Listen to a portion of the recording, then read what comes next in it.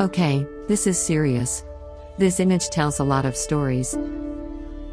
What would you do if it were your situation? Deluge Scene is the title of this painting. You see someone attempting to save his father while completely ignoring his wife and child, son, who are much closer to him. The wife represents the present, the son represents the future, and the grandfather represents the past, to which the man clings. As a result, he has lost both his present and future. A perfect metaphor for what many people face on a daily basis. Joseph Désiré's 1827 Scene of the Deluge, 1797 to 1865.